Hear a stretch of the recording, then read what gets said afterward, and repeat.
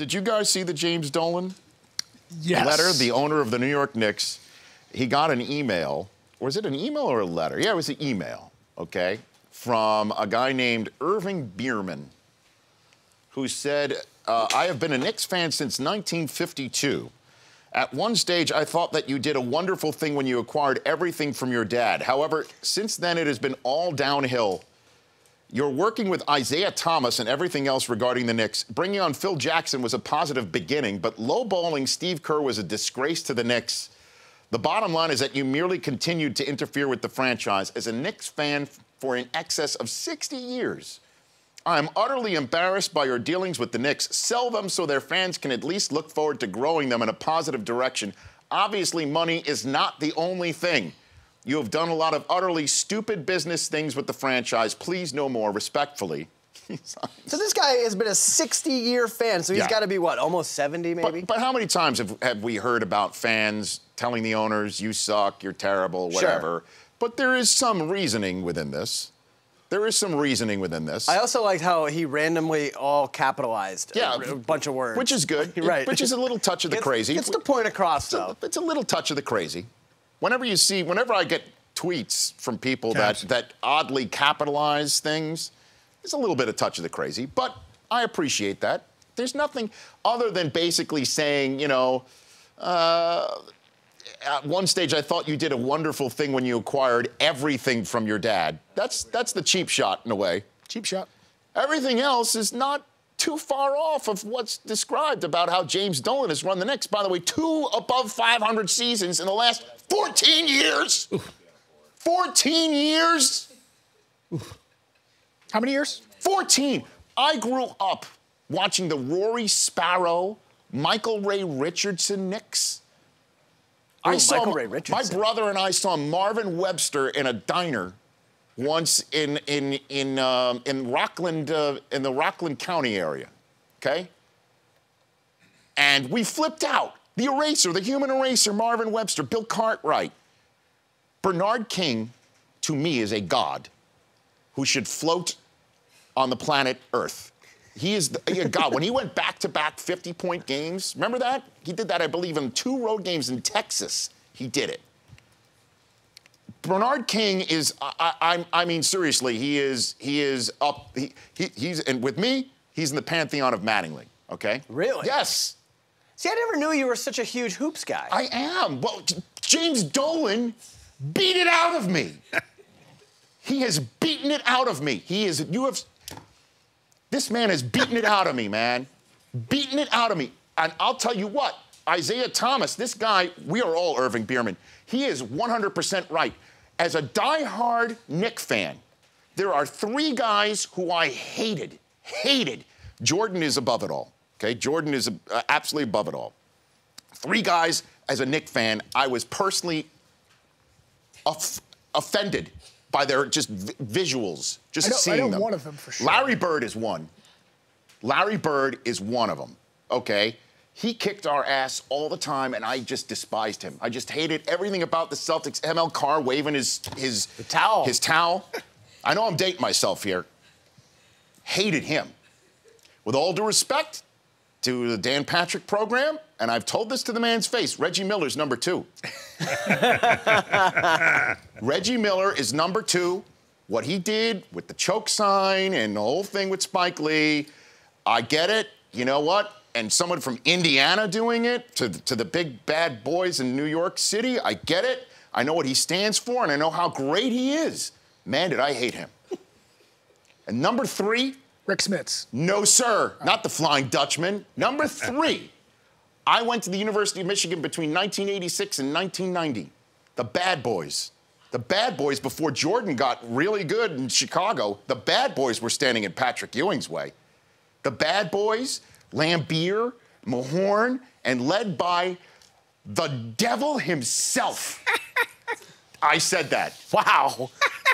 I'm talking as a fan here. I'm talking I real get all it. Irving Bierman. I am oddly capitalizing my statement here. But I think you're calling Isiah Thomas the devil. He, to me, he was. to, to me, he was. As a Knick fan, Again, fan is short for fanatic here, and I am oddly capitalizing things in my statement here. You definitely are. to go ahead and say this guy is going to run the Knicks franchise after all of that? Are you kidding me? And the way he ran the franchise and you stick by him? Of course, as a fan, I'm running away. I'm not caring anymore. Certainly, when then you go ahead and have two winning seasons in 14 years. James Dolan beat the Knick fan out of me. And then I see him basically respond to the letter I said. This is what he said, people. An owner of a franchise, who, by the way, I'm reading this letter from a, a Forbes.com article saying why James Dolan can laugh after firing off Rudy email to Knicks fan because he's worth a gajillion dollars. And that's why he could sit here and do this. He doesn't care. This is the whole point. He doesn't care. He doesn't care. He's got a gajillion dollars. He can play his he can play in his, his rock and roll band all he wants. I think he got Amar'e Stoudemire and Carmelo Anthony to play kazoos because he was setting a record, some sort of bizarre kazoo record. Well, they're not playing basketball, so they can play kazoo.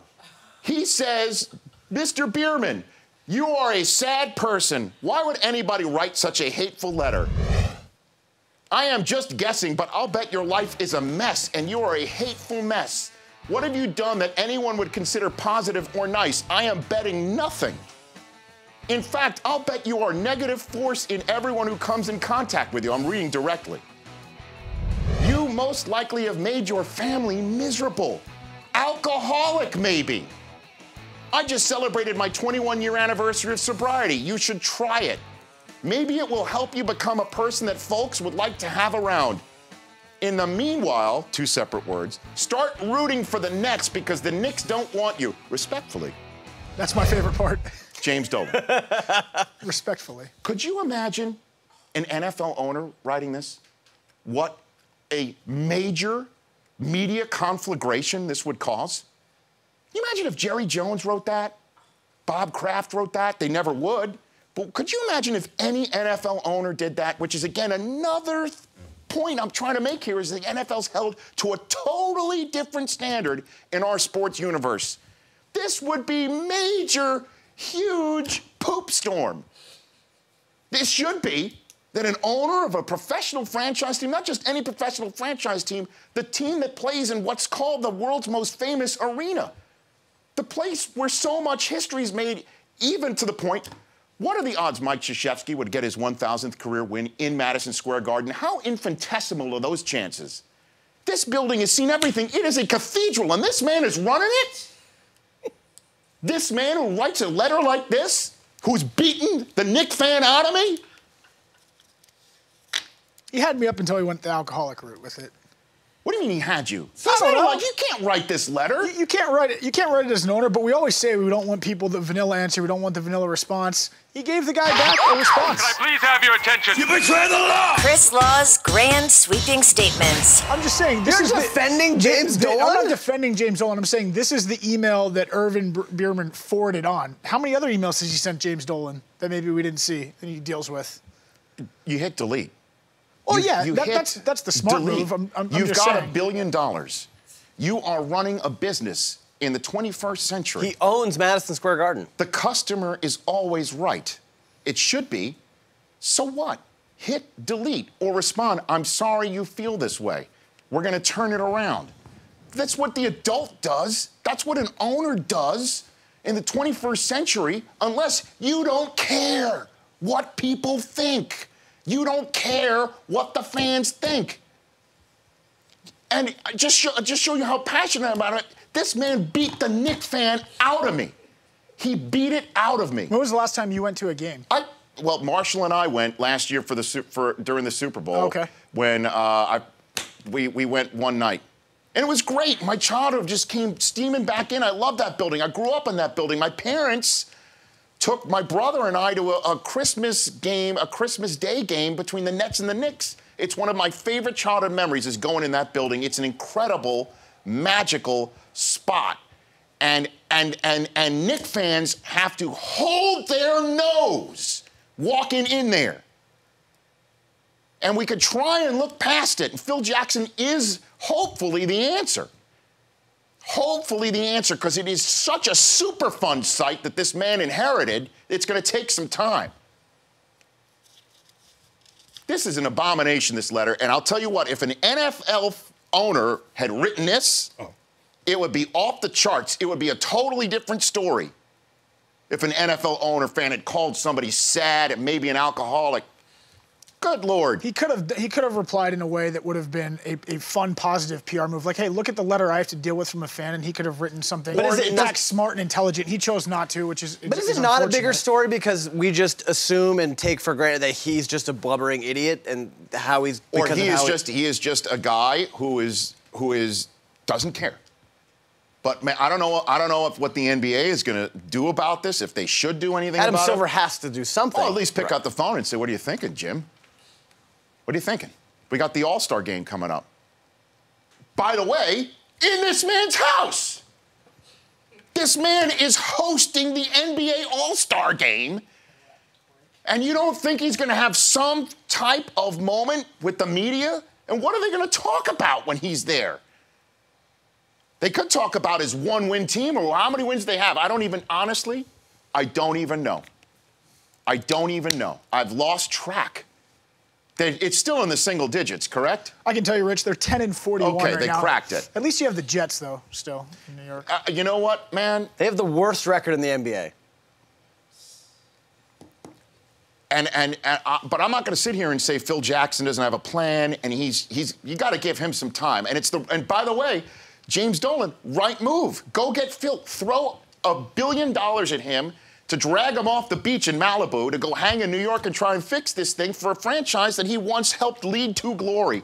Perfect move. Should have done that. Isiah Thomas, are you kidding me? The Rich Eisen Show, weekdays at noon Eastern. On Audience.